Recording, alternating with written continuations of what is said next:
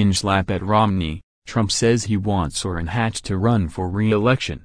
Salt Lake City, Reuters. President Donald Trump said on Monday he wants U.S. Senator Orrin Hatch of Utah to run for re-election, a move that puts Trump on a collision course with Republican rival Mitt Romney, who wants to run for Hatch's seat. Hatch, 83, has made noises about retiring from the Senate seat he has held since 1977 and Republican officials say Romney, a Utah resident who was the Republican 2012 presidential nominee, has been preparing to run for Hatch's seat next year. But Trump, who has clashed with Romney in the past, said he wants Hatch to run for re-election. You are a true fighter, Orrin, I have to say, Trump said at an event in Salt Lake City.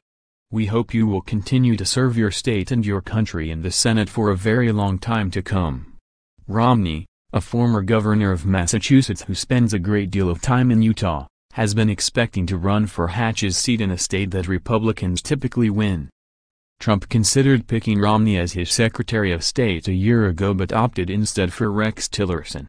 In August, Romney demanded Trump apologize for saying both sides were to blame for violence at a white supremacist rally in Charlottesville, Virginia. Trump did not apologize. Trump demurred when asked whether he was trying to send Romney a message by encouraging Hatch to run again. He's a good man. Mitt's a good man, Trump said. Reporting by Roberta Rampton and Steve Holland, editing by Jonathan Oatis.